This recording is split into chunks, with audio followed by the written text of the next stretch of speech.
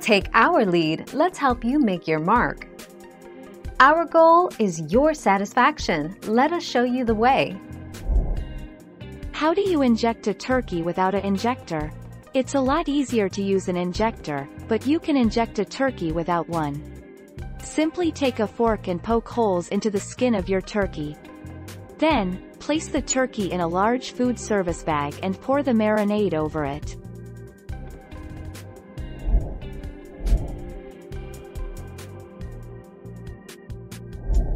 Make your mark, take our lead. The first step to make a delicious fried turkey is to make a good brine that will infuse the turkey with flavor before it cooks. Make my favorite turkey brine which is savory, sweet and flavored with herbs and citrus notes. Place a thawed 12 to 15 pound turkey in the brine for 18 to 24 hours. Rinse then dry the brined bird.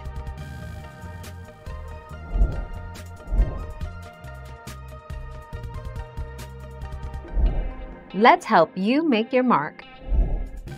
Most pre-cooked turkeys use birds that have already been brined because it ensures juiciness. If you inject, go light on the salt or you may regret it.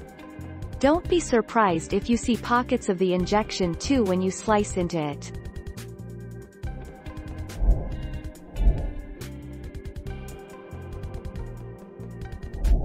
Let's help you make your mark. Poke holes all over the turkey, the legs, wings, breast and butt. If you're using an aluminum roasting pan, be careful not to poke a hole in it. It takes a turkey three and a half to four hours to cook.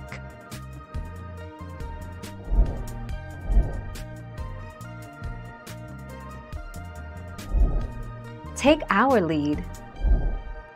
Butterball turkeys are pre-basted The frozen butterball turkeys have an 8% solution of water, salt, spices and natural flavors, while the turkeys it sells is fresh, which, by law, mean they've never been chilled below 26 degrees Fahrenheit, only contain 4% of that solution.